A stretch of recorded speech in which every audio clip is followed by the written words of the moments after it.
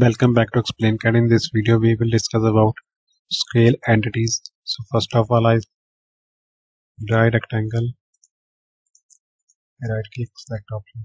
Here a limitation in scale entities. If we give it some dimensions, let's give it 60 mm by 100 mm. It is already defined 60 mm by 100 mm we can't scale it.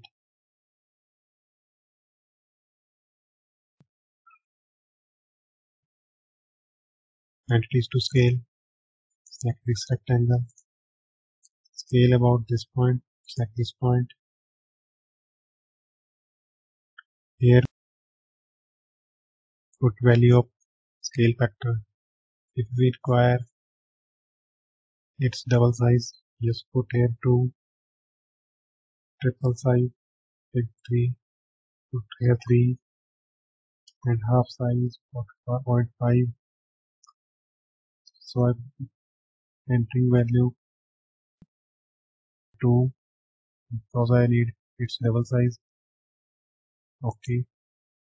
It is at same size 60 by 100, but it moves upward. For scale entities first of all delete its dimensions. This one also this one. Now go to scale entities. Entities to scale select this rectangle. Point. This point. Need its level size and entering value to okay now go to smart dimension check its size 120 okay.